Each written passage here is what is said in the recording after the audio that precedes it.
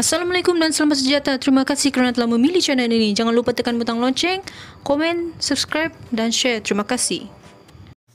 Ketua Penerangan AMNO Negeri Kedah Datuk Suraya Yaakob menafikan menerima undangan menghadiri muktamar PAS ke-68 atas kapasiti kepimpinan AMNO atau institusi kepartian.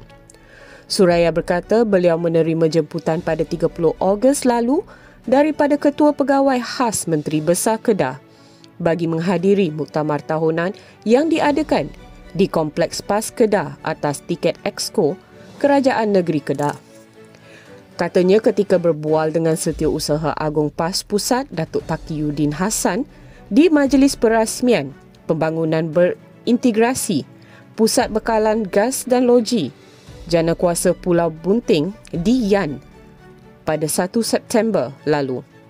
Beliau hanya berseluruh mengatakan muktamar tahunan PAS 2022 itu dibuat serentak dengan lawatan rasmi Perdana Menteri ke Kedah.